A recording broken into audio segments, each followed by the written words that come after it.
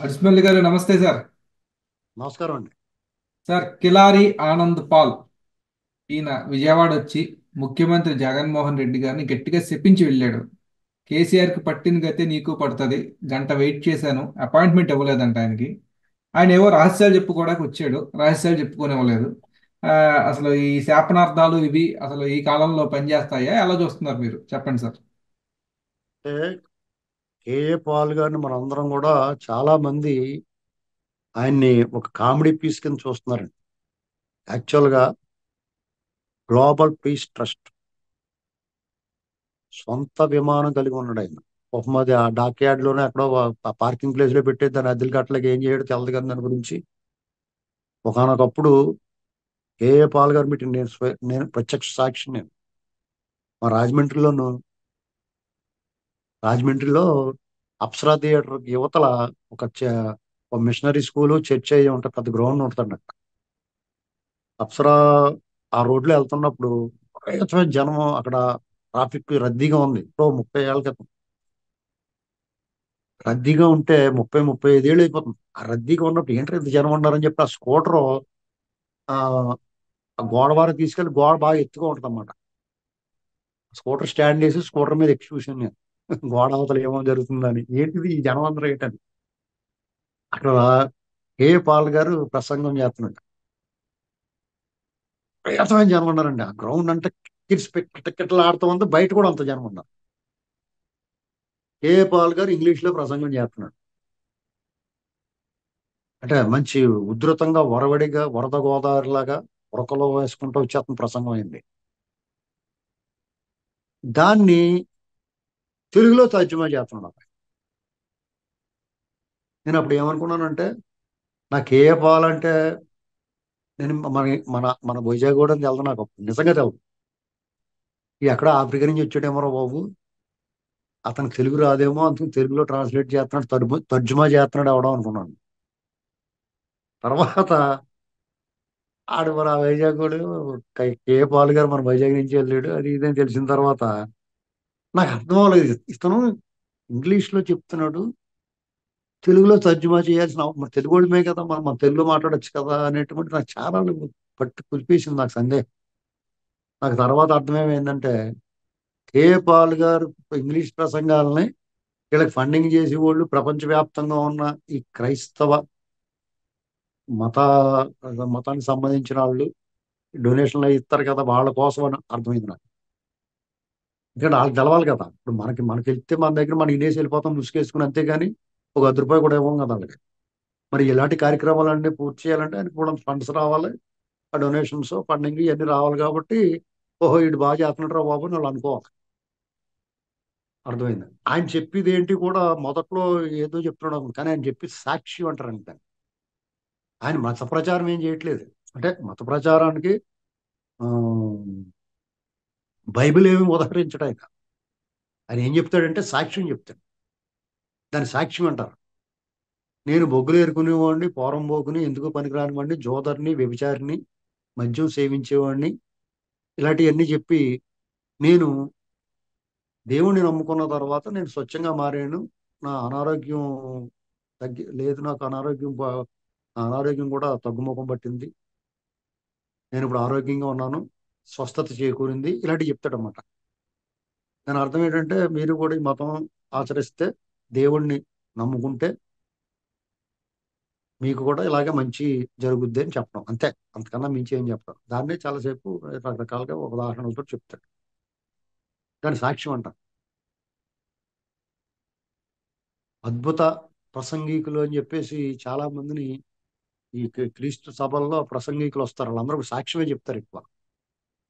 అరుదుగా ఆ పాస్టర్లు దే దేవుని వాక్యాలు చెప్తారు. డెఫినెట్గా బైబిల్లో ఉన్న బైబిల్ గ్రంథంలో ఉన్న దేవుని వాక్యాలన్నీ కూడా మనం ఖచ్చితంగా ఆచరించదగ్గవి. ఏ మత గ్రంథమైనా మనకు ఆదర్శం ఆచరించదగ్గ విషయాలే అందులో ఉంటాయి. క్రైస్తవమైనా హైందవమైనా ఇస్లాం అయినా ఏదైనా సరే ఏ మత గ్రంథంలో కూడా దుర్మార్గాలు చెయ్యి నువ్వు ఎదటోడు చేయకొట్టేయని చెప్పి ఏ ఎవరో చెప్పరు. అంతవరకు మనం మతాలని పరమత సహనంతో అందరం ఉండాలి. నేను అలాగే ఉంటాను. ఎందుకంటే నేను దైవము హైందవం భక్తి పార్వశ్యం ఎలాగైతే పొందుతానో హిందూ మతంలో అలాగే క్రైస్తవం సంబంధించిన ఆ బైబిల్ వాక్యాలు కానీ ఆ పాస్టర్లు మంచిగా చెప్పే జ దయా జాలి కరుణ కలిగిన పాస్టర్ల మార్ధవంగా అలాంటి బొంగురు గొంతులే చెప్పేవాళ్ళు కాదు కానీ మామూలుగా మంచిగా మాట్లాడేవాళ్ళు అన్నీ కూడా నాకు ఆసక్తిగా ఆలకిస్తాను. నేను కూడా పాటలు పాడతాను యేసు ప్రభు పాటలు నాకు చాలా ఇష్టం. అలాగే ముసల్మాన్లకు సంబంధించింది. ఇక ఏ పాల్ గారిని ఆయన ఆయన ఇంటికి ఇలాగైపోయాడు ఇదంతా ఎందుకు చెప్తున్నానంటే కేఏ పాల్ గారిని మనందరం ఆయన గౌరవించాలి మనం. ఆయన చాలా మంది చాలా కామెడీ పీస్గా చూస్తున్నారు తప్పండి అది. రాజశేఖర్ రెడ్డి గారు వాళ్ళ కుటుంబం అంతా క్రైస్తవం స్వీకరించి ఎప్పటి నుంచో క్రైస్తవ ఆరాధకులుగా ఉండి మరి గ్లోబల్ పీస్ ట్రస్ట్ దాని ద్వారా అనేక మందికి అనేక సేవా కార్యక్రమాలు చేస్తా ఈ ప్రపంచంలో అనేక దేశాధినేతలతోటి ఈయన అపాయింట్మెంట్ కోసం చూసేవారు దేశాధినేతలు ఈవెన్ ఇండియాలో కూడా. అనేక మంది రాజ ముఖ్యమంత్రులు మంత్రులు ప్రధానమంత్రులతో సహా ఈయన ఆశీర్వా ఆశీర్వాదం తీసుకునేవాడు. ఈయన బ్లెస్సింగ్స్ కోసం ఎదురు చూసుకుని నిజం అండి ఇదంతా ఫ్యాక్ట్ అలాంటిది మరి ఆయన ఎందుకు అలాగైపోయాడు ఆయన కుటుంబంలో చిచ్చు పెట్టేసి ఆయన్ని ఇలా సర్వనాశనం చేసింది రాజశేఖర రెడ్డి ఎందుకంటే ఆయన అల్లుడు అనిల్ కుమార్ గారిని ప్రమోట్ చేయాలి. ఆ ఫండ్స్ అన్ని కూడా వాళ్ళ దానికి రావాలి. అని ఈయన్ని నిర్వీర్యం చేయటం అట్ ది సేమ్ టైం ఆయన్ని పైకి తీసుకురావడం చేశాడు. ఇది ఇది నిజం. కేవలం కేఏ పాల్ గారు అలాగే అయిపోవడం కానీ రాజశేఖర రెడ్డి. ఒకనొక టైంలో ఆయన మీద అనేక ఆరోపణలు చేసేసి ఆయన జైలు పాలు చేసేసి ఆయన పిచ్చోళ్ళ ముద్రేసి నిజంగా ఆయన పిచ్చోళ్ళ ప్రవర్తించాడు. అంటే ఎర్రెక్కిపోయాడు ఆయన. అంత వైభవం అంత ఇది అసలు ఆ రకమైన వాతావరణాల నుంచి మీరు సా- మామూలుగా తట్టుకోవడం కష్టం ఎవరికైనా. ఇంకా ఆయన అలా తిరుగుతున్నాడంటే గ్రేట్ చంద్రబాబు నాయుడు గారు బాలయోగి గారు ఇలాంటి వాళ్ళందరూ అసలు నైన్టీ వన్ ఆ ప్రాంతంలో ఒక రేంజ్ అండి. గారు అలాంటిదో పది పదిహేను ఏళ్ళ నుంచి ఆయన కామెడీ పీస్ అయిపోయాడు. టీవీ డిబేట్లో కూర్చోబెట్టి లేకపోతే సోషల్ మీడియాలోను ఆయన కూడా అలాగే ప్రవర్తిస్తుంది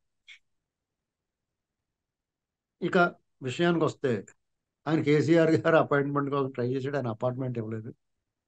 ఆయన మాట్లాడేది అంటే ఆయన ప్రజాశాంతి పార్టీ ఏదో పెట్టి నేను కూడా ముఖ్యమంత్రిని అయిపోతున్నాను నాకు ఆయన ఉద్దేశం ఏంటి? క్రైస్తవ ఆరాధకులందరూ ఆయన ఓటేస్తారు అనుకుంటున్నాను ఆ నమ్మకం ఉంది. ఇలాంటి దానివల్ల ఆయన ఏదో డబ్బులు ఖర్చు పెడితే కూడా తిరిగి వాళ్ళు ఉంటారు కానీ నిజంగా అభిమానించి ఆయన వెనకాల వెళ్ళే వాళ్ళు చాలా కష్టం ఉంటారండి ఈ కాలానికి తగ్గట్టుగా ఆయన లేడు. పోనీ ఆయన కార్యక్రమాలు చేసుకుంటేనే కొంచెం బాగుంటుందేమో అనుకుంటే ఆ కార్యక్రమాలకు ఆయన ఎవరు నమ్మట్లేదు అక్కడ వదిలేశారు రకరకాల వాళ్ళు అందరూ వచ్చేసారు. అప్పట్లో ఆయన ఒక్కడే ఉండి కూడా మత వ్యాప్తి కూడా తక్కువ ఉండేది ఇప్పుడు మా మీ ఏం చేస్తున్నాడరా మీ ఓడంటే మా ఓడి చిన్న హోటల్ పెట్టుకున్నాడండి అన్నట్టుగా నేను చర్చ చర్చ్ పెట్టుకున్నానండి అని చెప్తున్నారు. వ్యాపారం కింద మారిపోయింది. ఆశ్రమాలు లేకపోతే చర్చిలు ఇది ఆధునిక వ్యాపార కేంద్రాల కింద మారిపోయింది. అలాంటప్పుడు లాంటప్పుడు కేఏ పాల్ గారు కొంచెం హృదయం స్ట్రాంగ్గా లేదైంది. కాబట్టి ఆయన కొంచెం ముక్కలైపోయి ఇలాగా మనిషి మారిపోయాడు. కేసీఆర్ గారిని మరి ఆయన ఏం చేస్తాడు? నిస్సహాయుడు కదా. ఏదో చెప్పడానికి ట్రై చేశాడు. ఆయన పట్టించుకోలేదు వాళ్ళు. ఆగ్రహంతో ఏం చేస్తారు? శాపనాగారాలు పెట్టారు అది జరుగుతాయా? జరగవా? పక్కన పెడితే తన ఆక్రోశాన్ని ఆగ్రహాన్ని ఆవేశాన్ని అలా బయట పెట్టుకున్నాడు ఆయన. అంటే పూర్వం ఋషీశ్వరులు కమండలంలోంచి నీళ్ళు తీసి జల్లేసేవారు కదా. అలాగా ఈయన కూడా సెయింట్ మరి. ఈయన కూడా కమండలంలోంచి నీళ్ళు తీసి జల్లేసి మరి కేసీఆర్ మరి ఓడిపోడు కదా. ఆ భయాన్ని పెడతాడు. అంటే అపశృతి అపశకునం అనమాట ఇప్పుడు బొబ్బులి యుద్ధం సినిమాలో తాండ్రపాపారెడ్డి యుద్ధానికి బయలుదేరేటప్పుడు గుట్ల కోప పోతుంది అది అపశకన పక్షి అంటాడు. ఎస్వి రంగారావు గారు. అలాగా ఈయన కేసీఆర్ గారికి అలాగే అపశకనం కలిపాడు ఆయన పని అయిపోయింది. ఇప్పుడు జగన్మోహన్ రెడ్డి గారి దగ్గరికి వచ్చినప్పుడు జగన్మోహన్ రెడ్డి గారి సొమ్మేం పోయిందండి. ఆయన కూడా క్రైస్తవ ఆరాధకుడు క్రైస్తవాన్ని స్వీకరించినోడు ఫోన్లే ఈ ఇలాంటి వాళ్ళకి చెప్తే రేపొద్దున వాళ్ళ బావ రేపొద్దున క్రైస్తవ ఓట్లకి చ- అన్నం పెట్టేస్తున్నాడు కదా మళ్ళీ ఈయన దగ్గర చేర్చుకోవచ్చు కదా. ఆ పని చేయలేదు. వాళ్ళ బావ మీద కోపం ఉందండి. కే పాల్ గారిని దెబ్బతీసేసి జగన్మోహన్ రెడ్డి గారు బావని పెంచాడు రాజశేఖర రెడ్డి గారు. ఇప్పుడు మరి వాళ్ళ భావం మీద బా- కోపం పెట్టుకోవాలి. ఆయన ఆయన ఆయన తగ్గించాలంటే ఈయన దగ్గర చేర్చుకుని ఈయన కొంచెం ఎంకరేజ్ చేయాల్సింది. అది చేయకుండా పాపం ఆయన కనీసం అపాయింట్మెంట్ ఇవ్వకపోయేటప్పుడు ఆయన కూడా వేచి ఉండి వేచి ఉండి లాస్ట్కి శాపనగారం పెట్టేసి వెళ్ళిపోయాడు. నేను ఏమనుకుంటున్నానంటే ఇన్నాళ్ళు ఆయన చెప్పిన శాపనాళాలు తగిలిన తగలకపోయినా జగన్మోహన్ రెడ్డి గారికి పెట్టిన శాపం మాత్రం నిజమవ్వాలని కోరుకుంటున్నాను నేను అంతే. ఎందుకంటే మనం కూడా ఏమీ చేయలేక ఆ ఆగ్రహంతో కోపంతో ఆవేశంతో శాపాలు మాత్రం పెట్టగలం. ఏం చేస్తామండి? అయితే ఒకటి పది మంది ఆడిన మాట పది మంది పలికిన పలుకు మాట మంత్రమైపోతుంది పది మంది నడిచిన దారి రహదారి అవుద్ది. కాబట్టి ఇంతమంది జగన్మోహన్ రెడ్డి గారి కీడును కోరుకుంటున్నారు అతని ఓటమిని కోరుకుంటున్నారు అతను రాజకీయ ముఖ్యతనమే కనపడకూడదని కోరుకుంటున్నారు కాబట్టి డెఫినెట్గా ఇది జరగవచ్చు. చూద్దాం సార్ ఏమవుతుందో మరి. ధన్యవాదాలు.